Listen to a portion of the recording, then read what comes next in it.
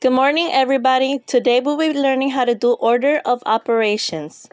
Please remember this term, PEMDAS. Also, you can say, please excuse my dear Aunt Sally. First, we have parentheses. Second, exponent. Third, multiplication or division, whichever one comes first. And last, we have addition and subtraction, whichever one comes first. So let's start working with some problems. Let's start with problem number one. 3 times 2 plus 5. Which one of these will, will you do first? Would you do multiplication first or addition? Let's go back. PEMDAS. As you can see, multiplication comes first and then addition. So we will do 3 times 2 is 6. Bring this down and you'll have plus 5. And your answer will be 11. That is the answer for number 1. Let's do problem number 2. 5 plus 10 times 2 plus 3. Think about it.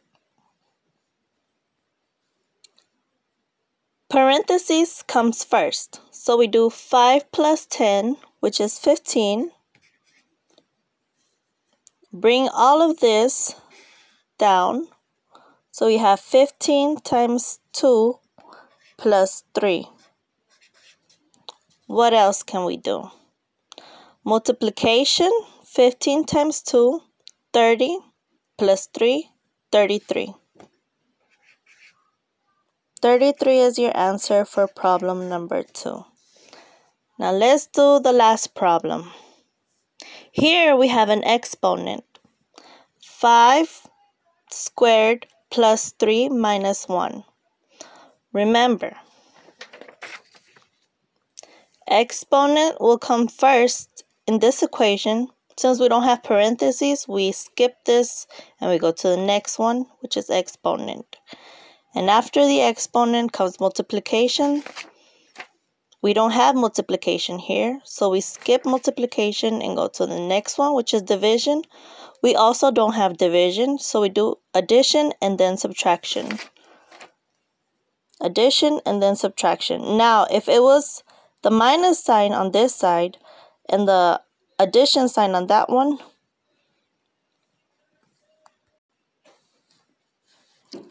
as I was saying, you can still do whichever one comes first, minus or plus. You will still get the same answer. And I went ahead and did the 5 squared, which is 25. I brought this whole equation down, plus 3 minus 1. And we get that 25 plus 3 is 28 minus 1 equals 27. And that is the correct answer. Thank you. Have a nice day.